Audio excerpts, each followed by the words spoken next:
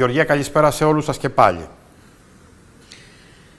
Καλησπέρα Μάνο, καλησπέρα κυρίες και κύριοι από την περιοχή του Άγιαννη Χωστού. Ε, είναι επίσης ένα πολύ δύσκολο σημείο όπως και στη λεωφόρο 62 Μαρτύρων και στην παραλία Ε, όπως βλέπετε πίσω μου υπάρχει ένας πρόχειρος κόμβος. Αυτά λοιπόν τα πλαστικά ε, θα φύγουν.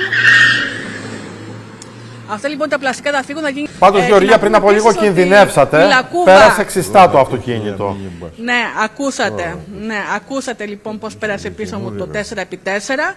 Ε, πραγματικά, αν περνούσε ένας πεζός ε, από αυτό το σημείο που υπάρχει και διάβαση πεζών και είδαμε πώς πήγαινε τρελά ε, από την τρελή πορεία του οχήματος, καταλαβαίνετε ότι θα είχαμε τώρα αυτή τη στιγμή ατύχημα. Εδώ πέρα έχουμε διάβαση πεζών σε αντίθεση με τη λεωφόρο 62 Μαρτύρων, αλλά βλέπουμε ότι τα οχήματα ε, περνούν, διασχίζουν τον δρόμο με, με πολύ μεγάλη ταχύτητα.